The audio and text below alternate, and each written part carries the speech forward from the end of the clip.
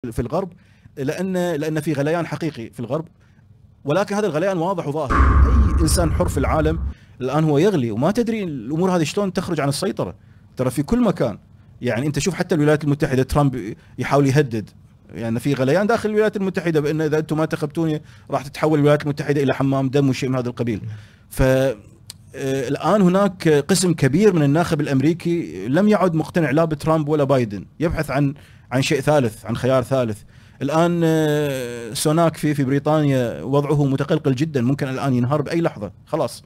وهكذا وغيره وغيره. لا أريد أن أتحدث عن الوضع الداخلي في في في, في الغرب لأن لأن في غليان حقيقي في الغرب.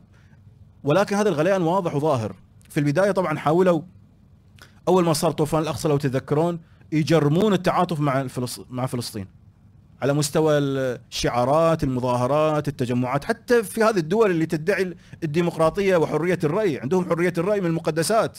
مع ذلك آه، حاولوا في البداية تجريم التعاطف مع مع الفلسطينيين. ولكن شافوا إن لا موجة التعاطف غير طبيعية. ويعني هم هم مضطرون إنهم يعني ينحنون أمام آه، عاصفة التعاطف الشعبي مع مع أهل فلسطين.